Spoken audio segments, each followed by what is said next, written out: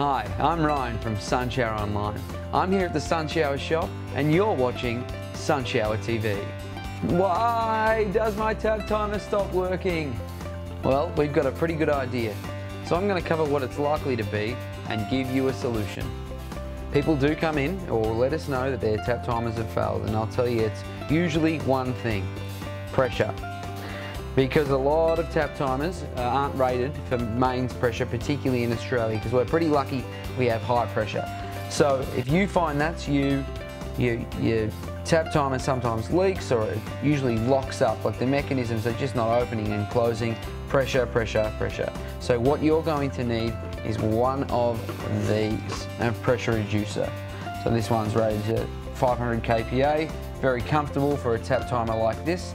And what we're going to do is put that at the tap, just above the timer there.